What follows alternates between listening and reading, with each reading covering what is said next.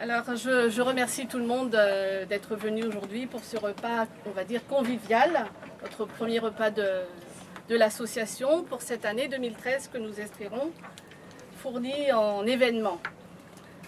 Euh, je ne vais pas être très longue. Je souhaite vous dire simplement qu'on espère euh, redynamiser un petit peu la IFM puisque nous avons de- des jeunes recrues qui vont nous apporter un peu de- un peu d'air, un peu de nouveauté et surtout on a besoin euh, du soutien de tous. Donc euh, je vais laisser la parole à la présidente qui va présenter son bureau et également le programme euh, que nous souhaiterions faire avec vous cette année. Voilà, je cède la parole.